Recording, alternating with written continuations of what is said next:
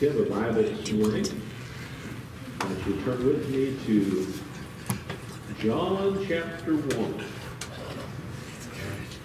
chapter 1.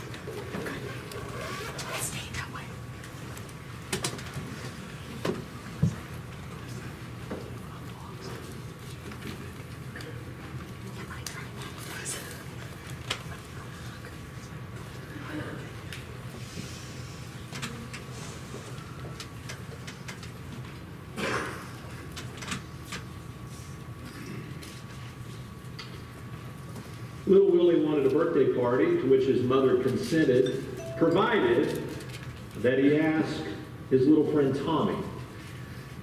The boys had had trouble, but rather than not have the party, Willie promised his mother to invite Tommy. Well, on the evening of the party, when all the small guests had arrived, except Tommy, the mother became suspicious and decided to talk with her son. Willie, she said, did you invite Tommy to your party tonight? Yes, mother. And did he say he would not come? No, explained Willie.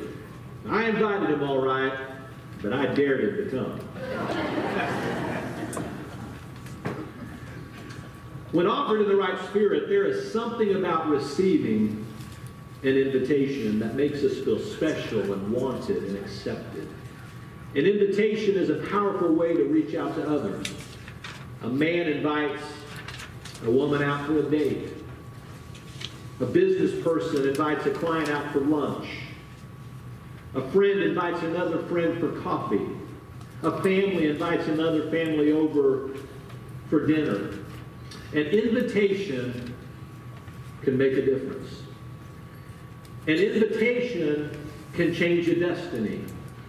An invitation is something that we must deliver if people are ever going to know they belong at North Nixa. Today we continue our series called Belong, and we are going to see very clearly from, the, from God's Word the value of an invitation. So if you would, stand with me as we read God's Word this morning in John chapter 1, beginning in verse 35. John writes, Again, the next day, John was standing with two of his disciples, and he looked at Jesus as he walked and said, Behold, the Lamb of God. The two disciples heard him speak, and they followed Jesus.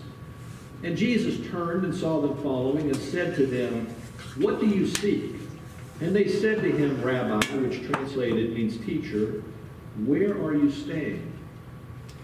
He said to them, Come and you will see. And so they came and saw where he was staying, and they stayed with him that day, for it was about the tenth hour. One of the two who heard John speak and followed him was Andrew, Simon Peter's brother. He found first his own brother Simon and said to him, We have found the Messiah, which translated means Christ. And he brought him to Jesus. And Jesus looked at him and said, You are Simon, the son of John. You shall, you shall be called Cephas, which is translated Peter.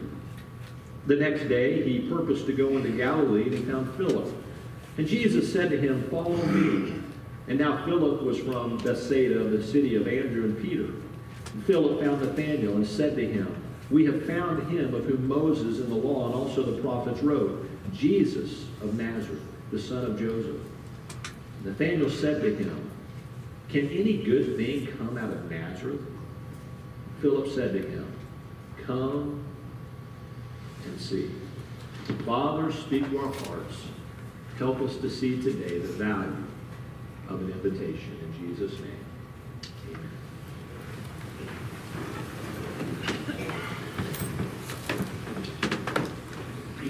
First, we see the value of an invitation by the example. In the verses I just read, we discover that John the Baptist is standing with his disciples and he sees Jesus coming his way. And John the Baptist says to his disciples, Behold the Lamb of God. In other words, the one chosen by God to die for the sin of the world. And the Bible says as soon as these two disciples hear this announcement by John the Baptist. They begin to follow Jesus. Jesus turns around and he sees them following him, and he says to them in verse 38, What do you seek? And they said to him, Rabbi, where are you staying? And verse 39 says, He said to them, Come and see. And so they came and saw where he was staying, and they stayed with him that day, for it was about the tenth hour. Come and see, Jesus says to these two men. Jesus offers these two men an invitation, an invitation to come and be with him. Now, this isn't the only time we see Jesus offering an invitation. I want you to hold your place here in John, and I want you to go back to Luke, Luke 19. Luke 19.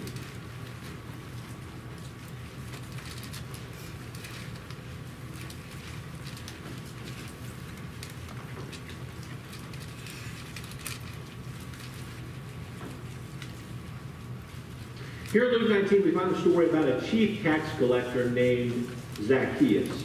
Now, this man was loaded with money, but he was relationally bankrupt. Zacchaeus had no friends. Nobody from the local synagogue was inviting him to worship with them. But one day, Zacchaeus, he gets word that Jesus is coming through Jericho.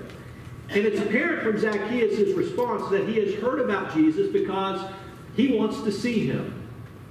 However, Zacchaeus is short in stature, and he's unable to see Jesus because the crowd is blocking his view. Well, if you know the story, then you know that Zacchaeus runs ahead. He climbs up in a sycamore tree so he can see Jesus. He wants to catch a glimpse of Jesus. The Bible says in Luke 19.5, when Jesus came to the place, he looked up and he said to him, Zacchaeus, hurry and come down, for today I must stay at your house. Zacchaeus wanted to catch a glimpse of Jesus. But Jesus catches a glimpse of Zacchaeus. And he offers him an invitation. Hurry and come down, for today I must stay at your house. An invitation to come and be with him. The way that Jesus let John the Baptist's disciples and Zacchaeus know that they belong with him was by offering them an invitation.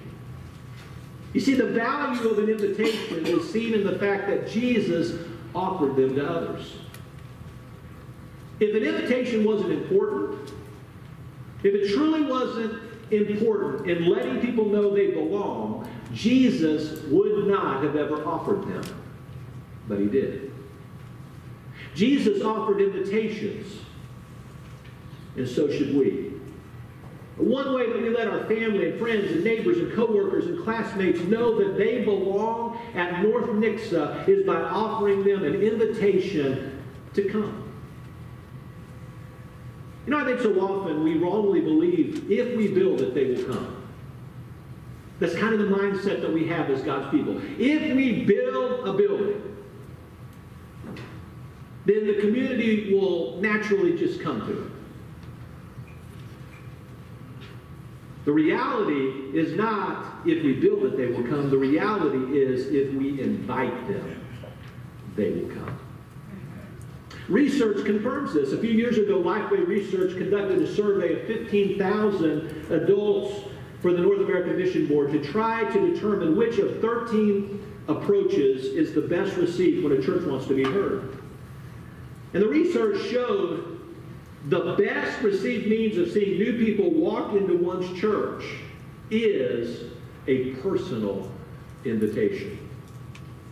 67% of Americans say a personal invitation from a family member would be very or somewhat effective in getting them to visit a church. 63% of Americans say a personal invitation from a friend or a neighbor would be very or somewhat effective in getting them to visit a church. 63% of Americans are very or somewhat willing to receive information about a local congregation or faith community from a family member. And finally, 50, 56% of Americans are very or somewhat willing to receive information from a local congregation or faith community from a friend or a neighbor. You know, often the reason others don't come to North Nixa, and, and not just North Nixa, but since we are North Nixa, we're going to talk about North Nixa. But so often the reason others don't come to North Nixa is not because they are unwilling to come.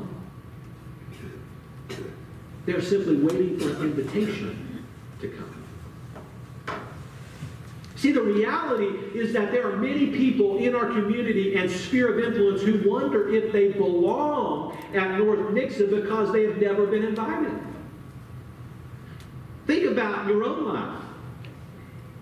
If something's going on, if something is happening, and you don't receive an invitation, then what do you think? Well, apparently I don't belong. Because had I belonged, then they would have invited me to come. And there are a lot of people in our community, in our sphere of influence, they simply don't think they belong here because they've never been invited here. They're willing, they're just waiting. Jesus, He is our example to follow. Jesus offered an invitation, and we must offer an invitation. Uh, Andrew, he followed Jesus' example. Look again at what we read in John chapter 1, beginning of verse 40. One of the two who heard John speak and followed him was Andrew, Simon Peter's brother. What did he do? He found first his own brother Simon and he said to him, We have found the Messiah. And what's the Bible say? He brought him to Jesus. Andrew offers his brother an invitation. You've got to come. We found the Messiah. You've got to come and you've got to see for yourself. Philip, he followed Jesus' example. In John 1.43, we find Jesus inviting Philip to follow him. And, and what's the next thing that Philip does? Philip offers an invitation to Nathanael. John 1, look again there, verse 44. says, Now Philip was from Bethsaida of the city of Andrew and Peter. Philip found Nathanael, and he said to him, We have found him of whom Moses in the law and also the prophets wrote, Jesus of Nazareth, the son of Joseph. Nathanael said to him, Can any good thing come out of, of, of Nazareth? And Philip said, Come and see. Jesus invites Andrew. Andrew invites Simon. Jesus invites Philip. Philip invites Nathanael. Jesus invites Travis. And Travis invites. The invitation can't end with us. It can't end with us. Invitations work. They work. The value of, of an invitation is seen by the example of Jesus and others in the Bible. We see them over and over and over again. Now, I'm not going to have you raise your hand. But I would say that some people sitting in this room today, you are here because you were invited. Not all of you. But I would say some of you here, you're sitting here today because somebody said, come to church with me. Come to North Nixa it works. The value of an invitation is seen in the example of Jesus. Again, if they didn't work, then Jesus would have, he would have given them. But Jesus gave invitations. His followers gave invitations, and we must also give an invitation. Second, we see the value of an invitation by the excitement. When someone offers an invitation, it is usually done with excitement. when a couple sends out wedding invitations, they are excited about it. When someone sends out an invitation for a baby shower, they are excited about it. When someone sends an invitation for a surprise birthday party, they are excited about it. Now, the person who it's for may not be excited about it, but the person who's throwing the party, they're excited about it, right? Uh, when a restaurant owner sends out an invitation to be part of a, a soft opening, they are excited about it. The value of an invitation is seen by the excitement. You know, if the person inviting me to something is not excited about it, guess what? then I'm probably not going to see much value in their invitation. It's like, why don't you come with me? Okay. Right? But I mean, if they're like, I want you to come with me, then you're going to be like, okay, you know, this person's pretty excited about what they're inviting me to. Do. Maybe there's some value in this.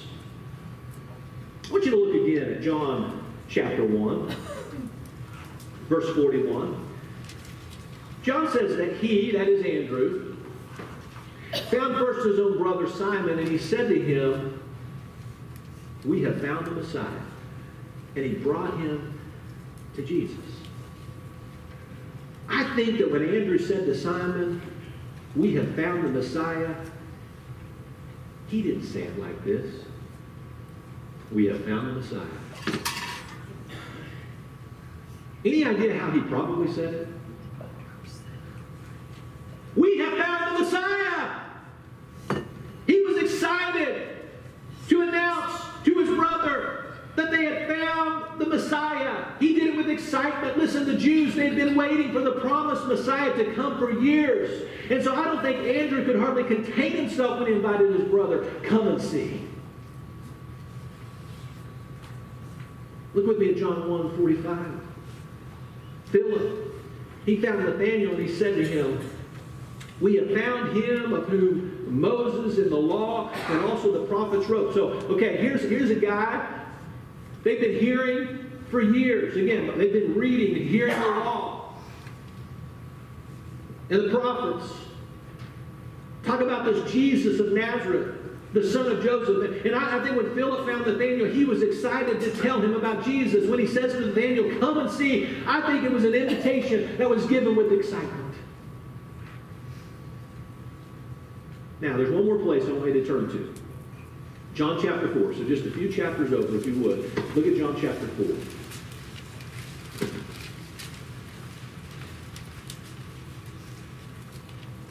Here in John chapter 4, we find Jesus meeting up with a woman at the local well in the city of Sychar. Through the course of her conversation with Jesus, we discover this woman has had five husbands. And the man that she's currently living with isn't her husband. Now, this is likely the reason this woman is drawing water all by herself instead of drawing water with others, as was the custom. She didn't have any friends. Nobody wanted to be around this woman. Certainly the other women didn't want to be around her. Perhaps she had taken her man. Who knows? All we know is this woman was all by herself coming to the well, which again was not the custom. This woman had a reputation. She didn't have any friends. This woman was looking for love in all the wrong places. She was trying to fill a void in her life that only Jesus could fill. And so as she talked with Jesus, Jesus offers her an invitation to drink water from a well that would satisfy her deepest thirst, which was an inward thirst. He also reveals to her that, that he's the Messiah. And I want you to see what happens as recorded in John chapter 4, verse 28. Look what it says. So Jesus has offered her this living water. He's, he said, I am the Messiah. I'm the one you've heard about. The Bible says, So the woman left her water pot, went into the city, and said to them, Come see a man who told me all the things I've done. This is not the Christ, is it? They went out to the city and were coming to them. This woman, she was so excited, she forgot to take her water pot back with her to town. To go and tell everyone about this man she had, she had met who, who told her all the things that she had done, yet she didn't feel any condemnation at all. The invitation to come back with her to that well, I want to tell you, it was done with excitement. Had any of the aforementioned, Andrew, Philip, or this woman at the well, offered an invitation without any excitement, I'm not sure any of them, any of them at all, would have had the response they did.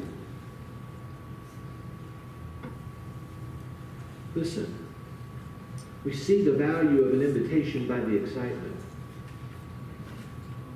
We should be excited to offer an invitation to our family, our friends, our neighbors, our classmates, our co-workers to come to North Nixa.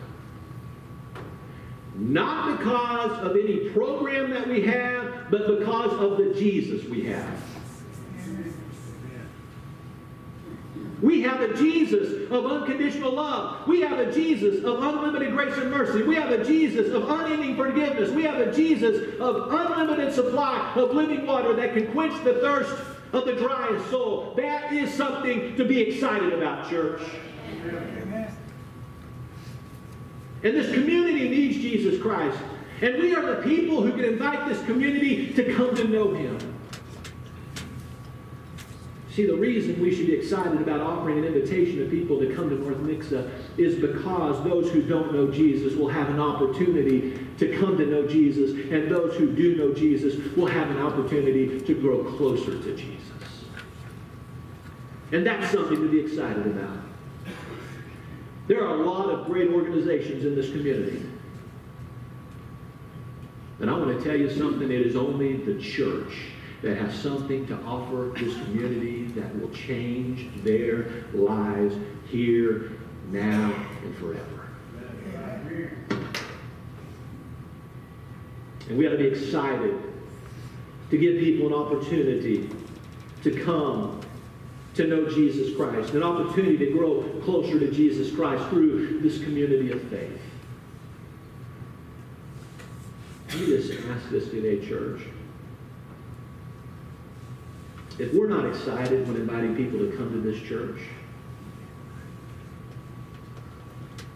then why do we think anyone would ever be interested in coming to this church?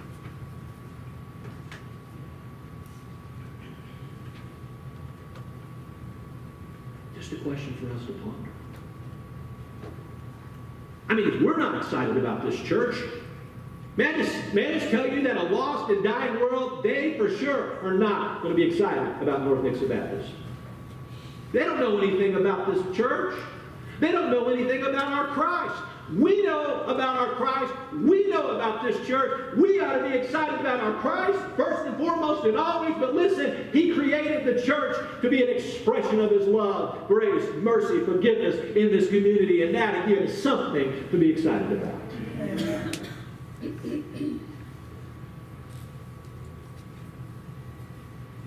One of the things I love is to hear my children get excited about being a part of coming to church and being with their friends and God's people. My, my kids will actually say to me, Are we having second church today? yeah. Second church being Sunday evening. They're excited about it. They want to come back. And all that we would have that type of excitement to get together with God's people, and, and most of all to invite other people to get together with God's people. Excitement. And I'm not just I'm not talking about something you, you have to work up. I'm not talking about some facade. I'm not talking about saying, well, Pastor says I ought to be excited, so I'm going to, I'm going to try to be excited about this.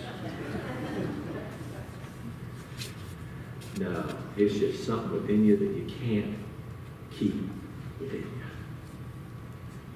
I want to tell you, that's how I feel about this church. That's how I feel about you. You are my brothers and sisters in Christ, and I love being with you. Oh, that we would be excited to tell our community and invite our community to come. Because again, many of them, they don't think they belong here. You know what? There's a, there's a perception now people think, well, that's a, that's a club of people. You have to have, apparently you have to be invited to come. And no one's ever invited me to come, so I guess I'm not welcome. It's the farthest thing from the truth. As we talked about last week, every single person in this community is welcome. But how do they know that they're welcome? We have to invite them. Finally, so we see the value of an invitation by the example. We see the value of an invitation by the excitement. Finally, we see the value of an invitation by the emergency. When an invitation is given with urgency, It shows its importance. After Jesus gives an invitation to the woman at the well, he immediately gives an invitation to his disciples. Look with me at John chapter 4 once again. Verse 35.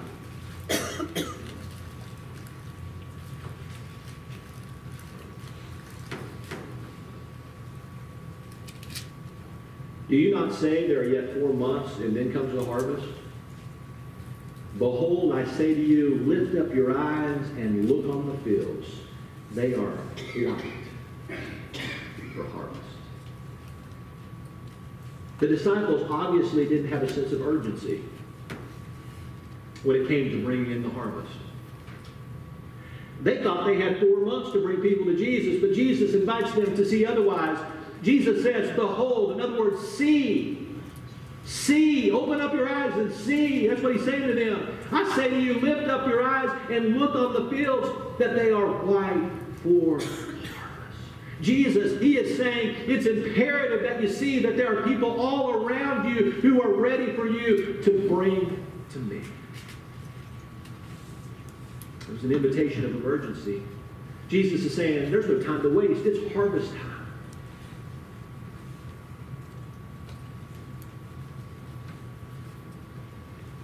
There needs to be an urgency by us when it comes to inviting people to come to North Nixa. See, I believe Jesus Christ will say to us today what he said to his, his disciples that day. It's imperative that we open up our eyes to see that there are people all around us who are ready to be brought to Jesus. We just need to invite them to hear the gospel. And I want to tell you, this is a great place to invite them to hear the gospel.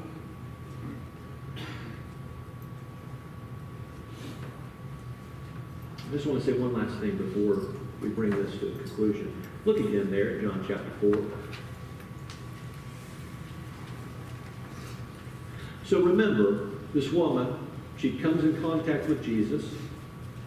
She's excited. I mean, she's excited about Jesus. She goes back into town, tells the people in town, you've got to come back. They come back with her. You know who was in that town already? Do you know who had gone into town? Who had left Jesus at the well and gone into town? The disciples.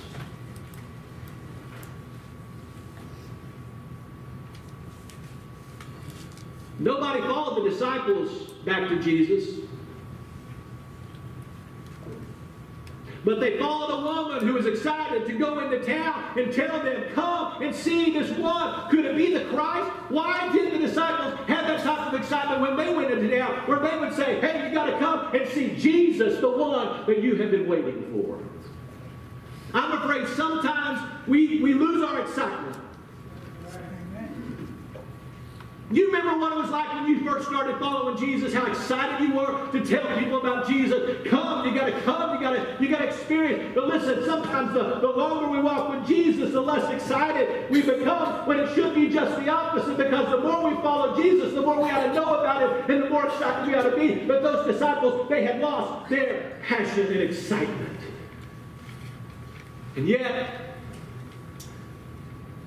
Somebody from North Nixa Baptist, somebody who gets saved, what do they do? They go out in the community and they start saying, You got to come, you got to come, you got to come. Oh, that all of us, whether we follow Jesus one day or whether we have followed Jesus for 25 years, may we all have a passion to say, You got to come and see.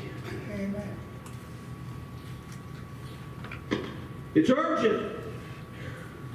Because the, the fields are they're white to harvest, and we don't know when Jesus is coming back. He can come back at this very moment, and a world could, could be separated from him for all eternity. So it's time to be urgent about the invitation to get people here to hear the gospel of Jesus Christ. So, the value of an invitation. It's seen by the example, the excitement, the emergency. When it comes to inviting people to North Nixa, we need to be like the young man in this video. Take a look.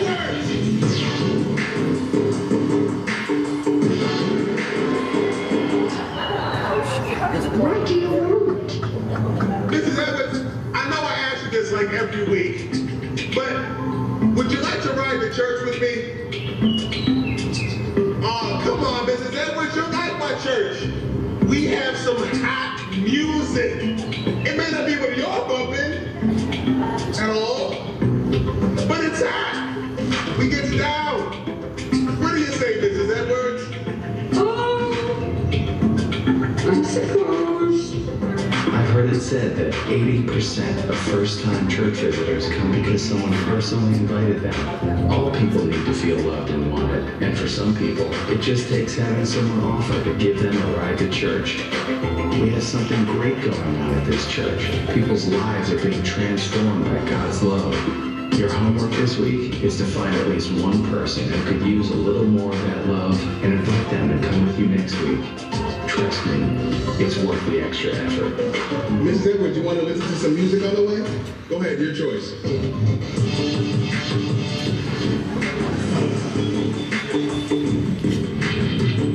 Okay, here we are.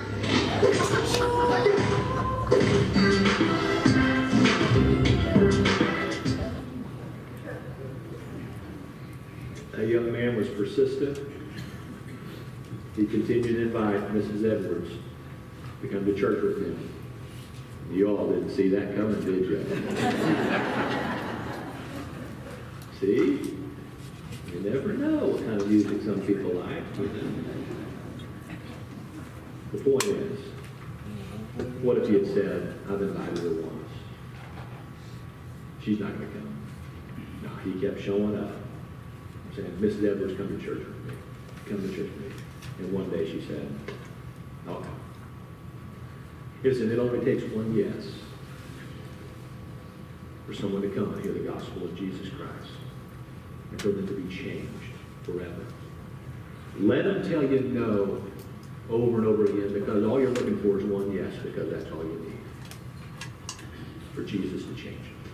Every head bowed, every eye closed, nobody looking around.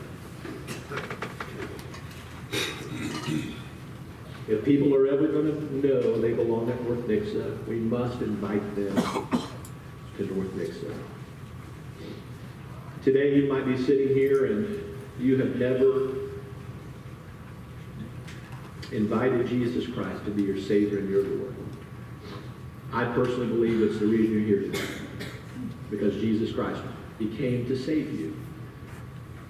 The Bible says that we have all sinned. We've all fallen short of the glory of God. And so we have to admit to God that we're a sinner.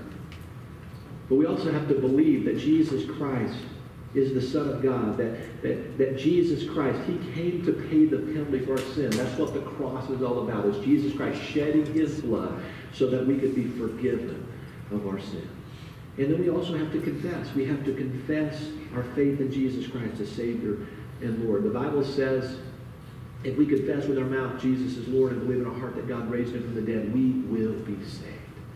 Whoever calls on the name of the Lord will be saved. If you've never done that, here's what I'm going to do. I'm going to lead you in just a simple prayer. There's nothing magical about this prayer. But if it expresses the attitude of your heart, it helps you to formulate what's in your heart. Would you just say this prayer right where you're at? There's nobody else looking. It's you and God. Jesus, I believe that you came to this earth and that you died on the cross for my sin. I believe that you were placed in a tomb, but three days later you rose to life. And today I confess you, Jesus, as the only one who can save me from my sin and give me eternal life. Thank you, Jesus, for shedding your blood so that I could be forgiven of my sins. I place my faith and trust in you alone. Every head down, every eye closed, nobody looking around. If you're here today and you just said that prayer for the very first time, there's nobody looking. It's just me and you and the Lord. Would you just slip up your hand right now? Anybody here? Thank you. You put your hand down. Thank you. Anybody else who would say, I just, I just prayed that prayer? Anybody else? I believe the Bible teaches next steps. See, our, our walk with Jesus, it's, it's, a, it's a walk of faith. It's one step after another. And I believe that Jesus is always calling us to take another step, another step. And I don't know what that step is for you today, but I believe the Holy Spirit's at work, and I believe He's showing you what step. For those of you who prayed and asked Jesus Christ your Savior and Lord, and I know this is a big step. But God will give you the strength to take this big step. I want to invite you in just a few moments just to walk this aisle. You said, man, that's going to, that's going to be hard to do. It will be. But I want to say, here's what's going to happen. You're going to confess before this church that you have accepted Jesus Christ as your Savior and Lord. And you know what's going to happen? This church is going to celebrate with you. That's what the angels are doing right now in heaven. They're celebrating because of the decision. You passed from death to life, and that's something to celebrate. And we just want to celebrate with you. And so if you just be so courageous just to walk this aisle, just come on down. Just come on down. In just a few moments, we're going to sing. We're going to sing. A hymn of invitation, any decision that you need to make, I want to invite you to come. Jesus, thank you. Thank you that you came and you gave your life for us.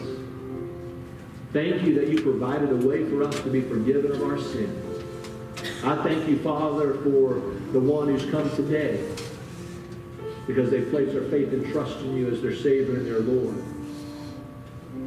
Father, I pray if there's anyone else here today who needs to take this step, I pray that they would take it today. May today be their day of salvation. Other decisions that need to be made. Holy Spirit, do the work that only you can do, and we'll give you glory and praise for it. In Jesus' name. Amen. Stand as we sing. Right now, you come.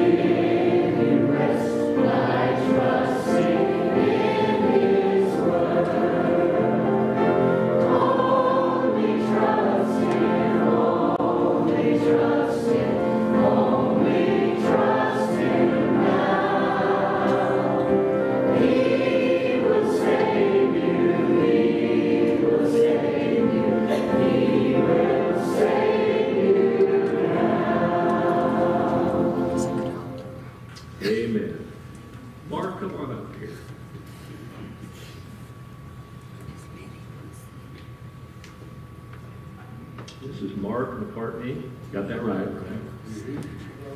First Sunday was last Sunday, correct?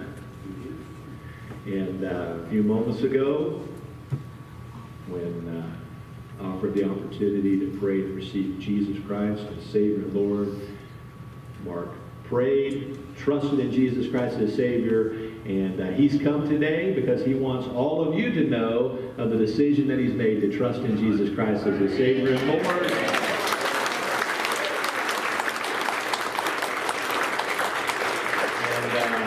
he's going to follow the Lord in, in believers' baptism in the coming coming weeks, so we'll get that set up. But uh, man, God is so good, isn't he? So Mark, we're going to have you go back there, and, and everybody's going to want to just give you a high five, fist hug, something to tell you, welcome to the family of God. We are so excited. And as he makes his way out there, just uh, give the Lord a hand and him a hand as he goes. All right?